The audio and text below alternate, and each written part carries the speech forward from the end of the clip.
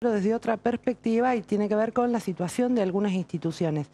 Esta semana te mostrábamos eh, puntualmente una escuela de estándar norte, un edificio donde funcionan dos escuelas, las 221 y 755, que fue víctima de un robo. A propósito de la cobertura de este robo veíamos el estado del jardín, que no llegaba a ser jardín, era prácticamente un basural, un foco infeccioso. Bueno, la respuesta de dónde viene desde la comunidad educativa. Son padres y gente de la cooperadora los que se están organizando para poder limpiar el lugar. Ahí estuvo Facu y esto es lo que pasaba. Yo terminé hace el anteaño pasado, hice mi, terminar mi secundaria, que era una de mis metas, eh, y quería seguir trabajando para el colegio, o sea, integrar, estoy integrando la cooperadora de, adultos de las 755.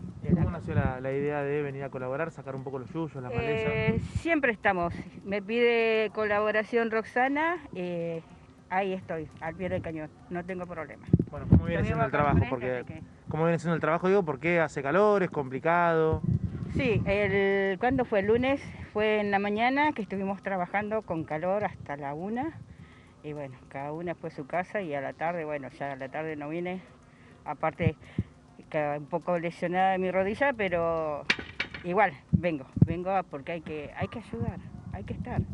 Bueno, contame qué estuvieron haciendo y qué es lo que van a hacer en estos días. Eh, bueno, hicimos la parte del costado del colegio que está terminada. Sacamos los yuyos de los árboles, también.